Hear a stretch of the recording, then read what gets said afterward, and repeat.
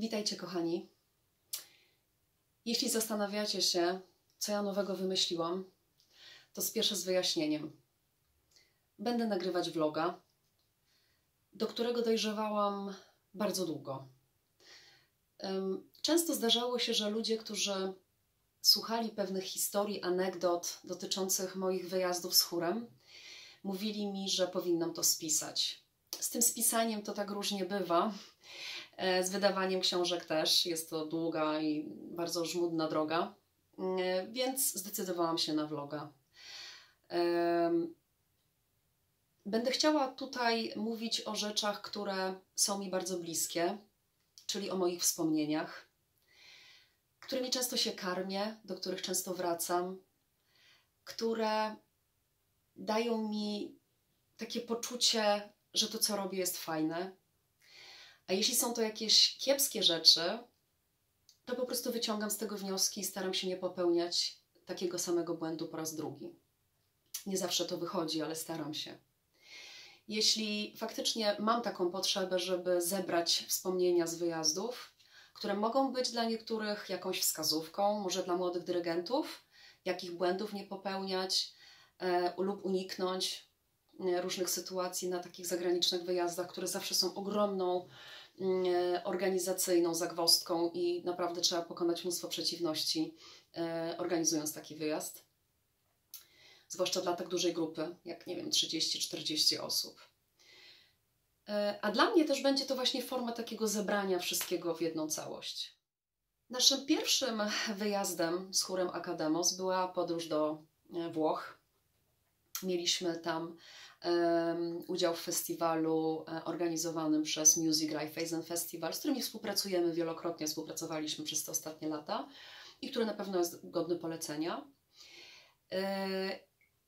I pamiętam, że mm, jak przyjechaliśmy do Jesolo, to y, troszeczkę byliśmy zawiedzeni standardem hotelu.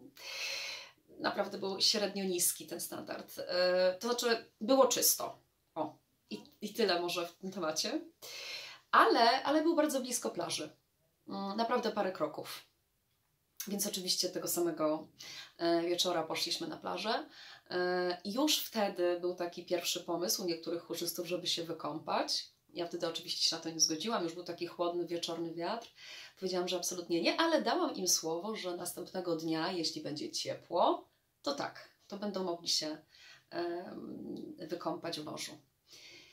No i to był mój błąd, dlatego że już następnego dnia okazało się, iż słowo, pojęcie generalnie ciepła jest pojęciem względnym, Naprawdę nie było ciepło.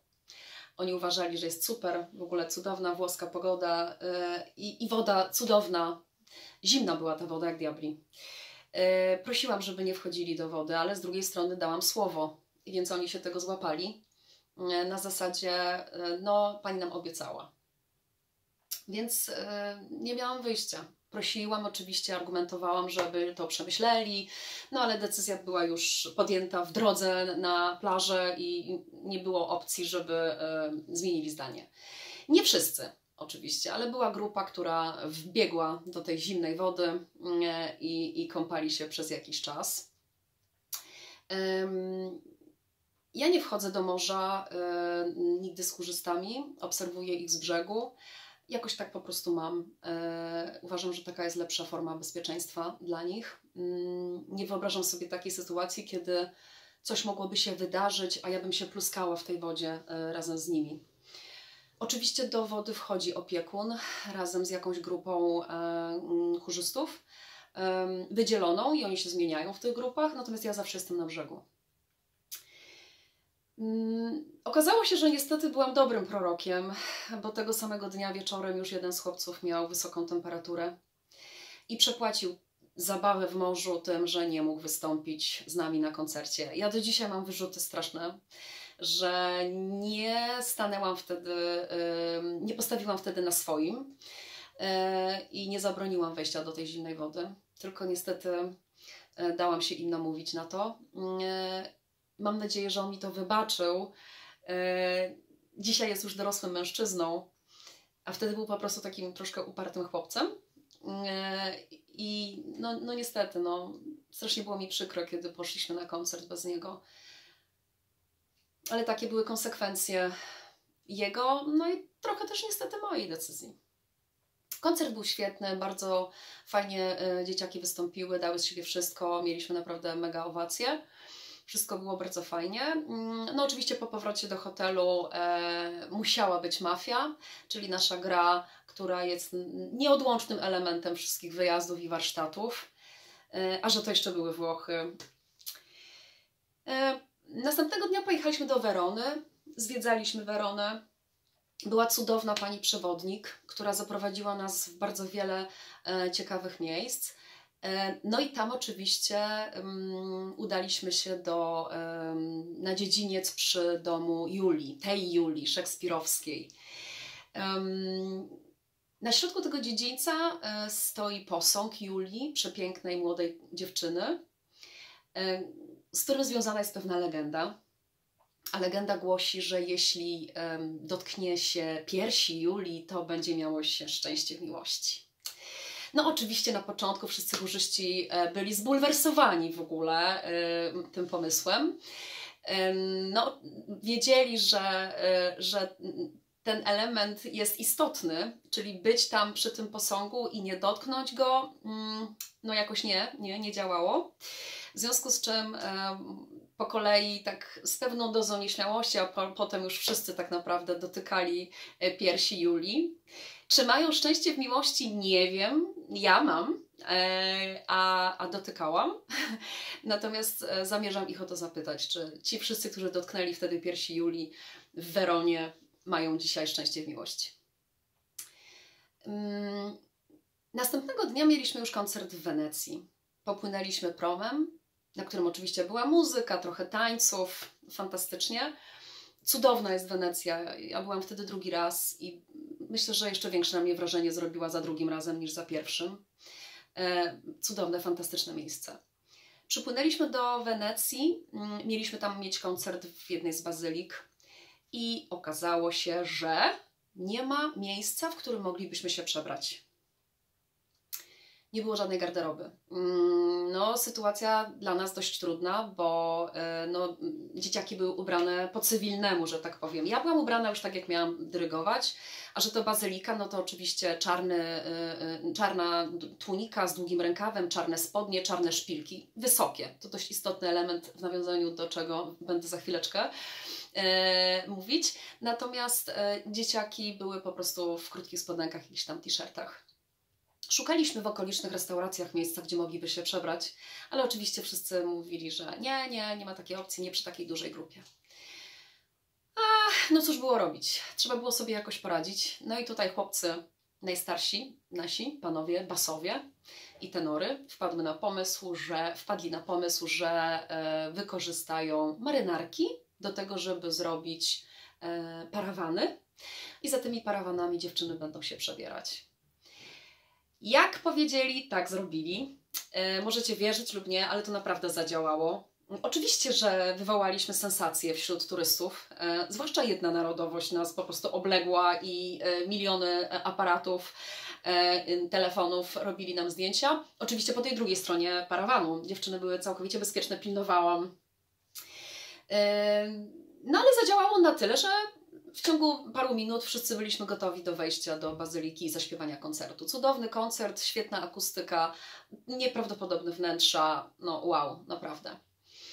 E, wyszliśmy z bazyliki, no i jak gdyby nastąpiła druga część przebieranek, tym razem w drugą stronę, czyli z churalnych ubrań w ubrania, w ubrania cywilne. E, no i tutaj właśnie um, uświadomiłam sobie, że ja nie mam nic na przebranie. Z nieba żar się lał, 30 stopni, a ja czarne spodnie, czarna tunika z długim rękawem i czarne wysokie szpilki. No i cóż było robić? Musiałam iść na zakupy. No po prostu sytuacja mnie do tego zmusiła. No, musiałam kupić sobie letnią sukienkę, klapki, no i jakąś torbę, do której mogłam powkładać te rzeczy, które zdejmę z siebie.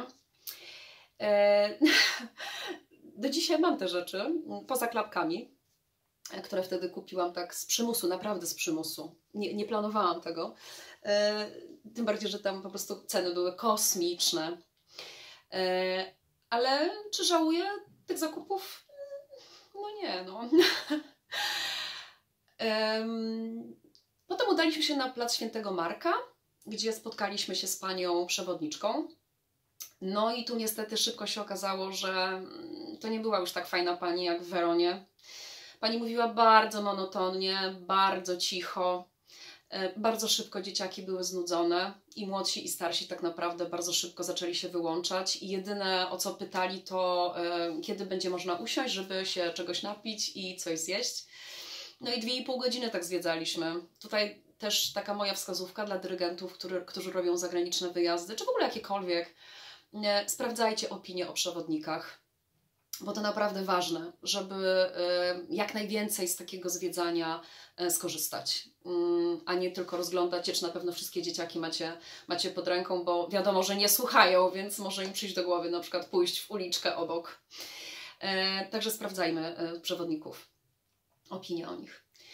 Mm, po zwiedzeniu, no jak już powiedziałam, niezbyt dobrej jakości, e, wróciliśmy do hotelu mm, i oczywiście była mafia. Tutaj mm, taka bardzo e, słynna rozgrywka mafijna, gdzie jedna z dziewczyn fatalnie po prostu wykorzystała w jej odczuciu cudownie wykorzystała zaufanie dwóch kolegów, którzy byli przekonani, że ona jest z nimi w grupie, a okazało się później, że była od początku przeciwko nim. No jak to w mafii często bywa, e, takie sytuacje się zdarzają. E, tutaj też chciałabym nadmienić jedno słówko o tej grze. Mm, ona czasami wzbudza jakieś tam kontrowersje na zasadzie no mafia, no niewychowawcze. Proszę Państwa, nie dajmy się zwariować. E, to jest tylko zabawa, dzieciaki o tym wiedzą. E, jest to w ogóle jedna z podstawowych gier teatralnych. Nawet kiedyś czytałam taki podręcznik do szkoły teatralnej wydany przez londyńską szkołę teatralną, gdzie właśnie ta gra była wymieniona jako jedna z pierwszych. E, na której uczą się aktorzy e, fantastycznie bawić e, mową ciała, mimiką, gestem, tonem głosu. Ja nie mam z tą grą problemu, o tak powiem. Nie mam, nie miałam i myślę, że nie będę miała, o ile jutro istnieje. Do Polski wracaliśmy jak zwykle bardzo długo z takiej podróży. E, tak jak już mówiłam, e, my głównie przemieszczamy się po Europie autokarami. E, to była długa podróż, ale my sobie świetnie radzimy w autokarze. Naprawdę możecie nie wierzyć, ale nie odczuwamy tych podróży. Um, oczywiście podstawą tutaj jest oglądanie jakichś tam filmów, ale, ale to nie tylko to, bo jeżeli zaczynają się nudzić filmy, to ja po prostu wbijam z gitarą i śpiewamy, tylko się przemieszczam z tyłu autokaru, później trochę do przodu, bo wiadomo, że to niezbyt jest wygodne mm, śpiewanie.